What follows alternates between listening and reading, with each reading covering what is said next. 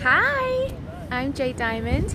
I help stuck singles find their soulmate and struggling couples get juicy and reconnected again in their relationship. My clients have the best sex of their life, guaranteed. And um, yeah, they, my clients just kind of snatch their sexy back and run with it. So it's my last day here in San Diego. So of course, hi Verna. Of course, I wanted to come to the beach.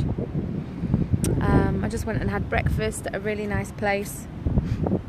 Got some avocado and eggs on toast this morning, which was so good. And I just had to bring you by the ocean. So I'm in Ocean Beach right now. I was staying in La Jolla and then I was staying in Pacific Beach and now I'm in Ocean Beach. And I really like it here. It's a little bit more chill in Ocean Beach. Like at the weekends it gets kind of crazy, I'm told, but um, it's more chill here. I like it. Uh, yeah, I could definitely come back here for sure, for sure. So I wanted to talk to you about increasing pleasure and decreasing conflict. We have three events coming up in London over the next three Thursdays. So I've put the link um, above here. I'm actually wondering if I can put a link in the comments. Let me see. Yes, so I've just put a link in the comments as well because we have some really exciting uh, classes coming up. So some of you might have been to our Introduction to Pleasure and Intimacy full day event and there's four teachers. There's me, Eugenia, Sia and Luke and we're all working together. We've got an amazing retreat coming up at the end of June that you really, if you're really ready to have the best sex of your life and really, really like make your intimacy juicy. Hi Eugenia, hi Tom if you're really ready to make your life amazing, then you really want to come. Because here's the thing your future, you, relies on you now, the decisions that you make now. You know, your future is relying on you. Oh! Alright. A bunch of sad people leaving San Diego. So, what I've found as a sex and intimacy coach is that people, and I've said this to you over and over again, people generally, generally come to me when there's a big problem, like when things have got so bad that they're kind of desperate. Don't leave it that late. it's like, would you own, like, you wouldn't do this with your health. I mean, lots of people do, but it's not ideal, is it? That you only start to eat healthy when you have a severe health problem, like when your relationship's in trouble or your marriage is in trouble or you've been eternally single or you know that sex isn't working for you, there's something that you're missing, then only then do you go and, and look at what's available. The reality is, when it comes to sex and our relationships, there's a whole spectrum of amazing you know um, techniques and skills and intimacy that's available to us but most of us don't bother to look and we're we're under so much social conditioning when it comes to relationships what relationships should be what the man should do what the woman should do. We're kind of really stuck in these gender roles and if we don't fit these gender roles a thousand percent you know it's going to be a problem.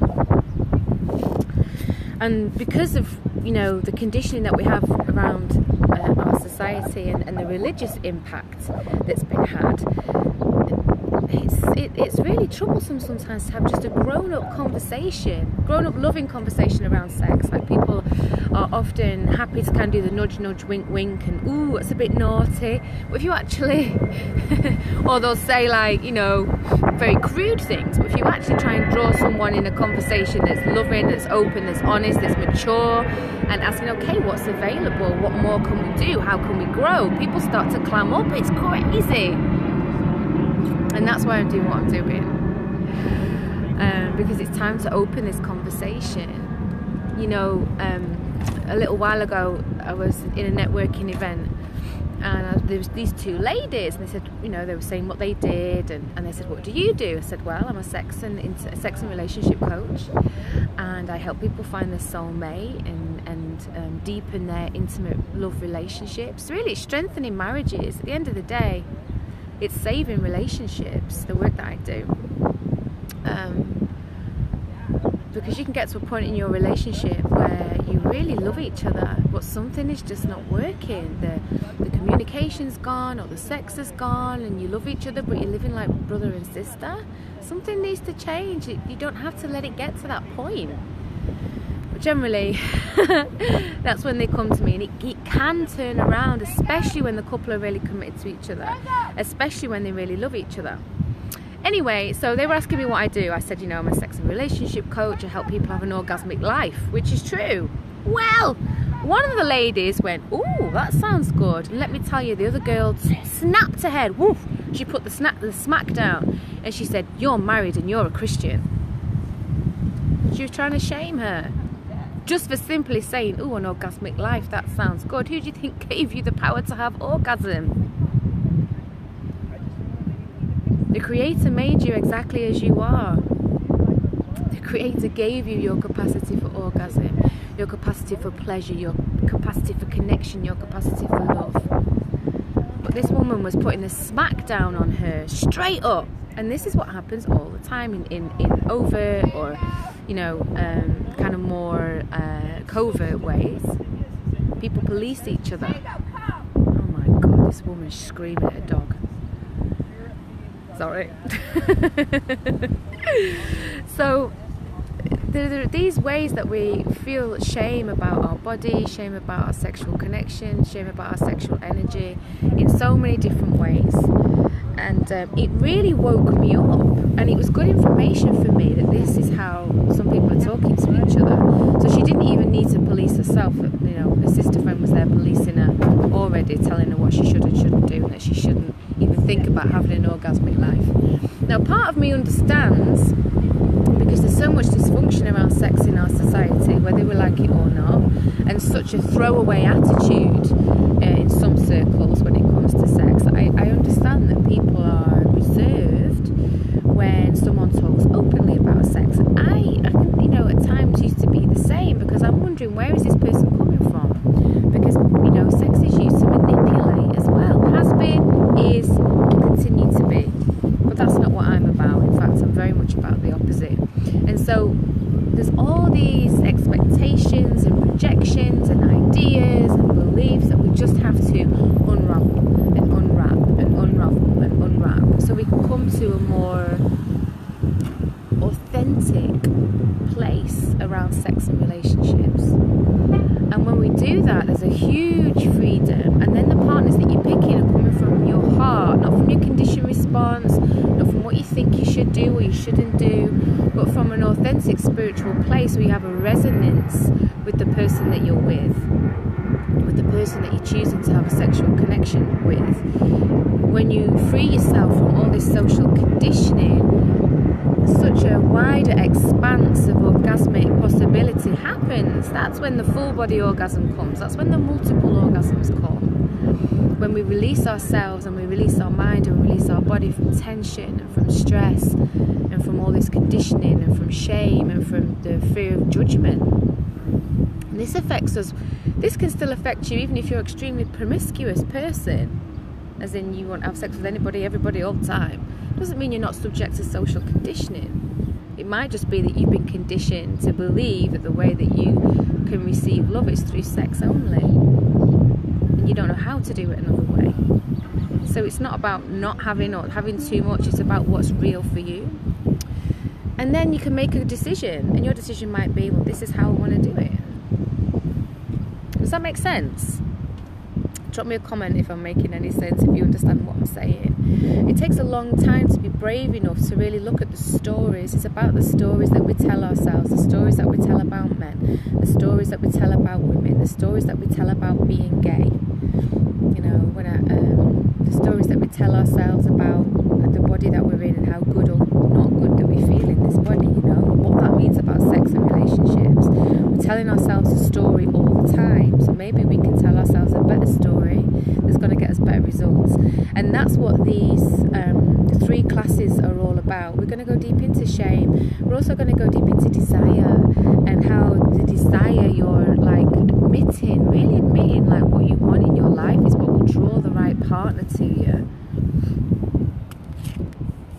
I'm going to do group healing. I don't know if you've been, you can go back through the videos on my page, Facebook, um, Ms. J Diamond, MS, J A Y. Sometimes people just put the initial J. I'm like, that's not my name.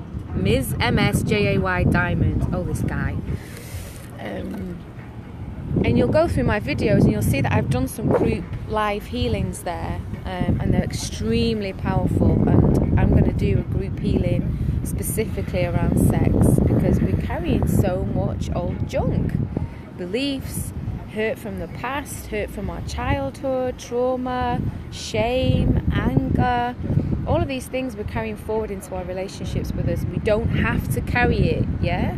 It is absolutely possible to heal. In fact i build i build my whole like life's work and the book that i've written and the healing that i do is is based on the fundamental belief that you can heal and that you can grow and that you can elevate. You know there's so much more available to us than we're told when it comes to sex and relationships and I, and I want you to experience that and open to that and be part of it in a really safe, beautiful place, you know? So I've put the link at the top of this video. Um, have a look.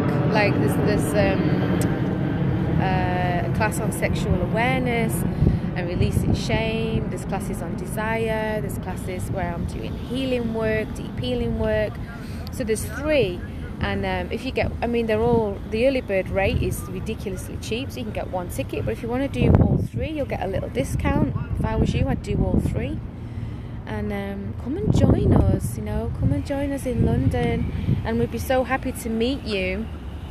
And also ask about our retreat that we've got coming up at the end of june because that is a deep dive for people who are really ready to up level you know. Your future depends on you nobody else.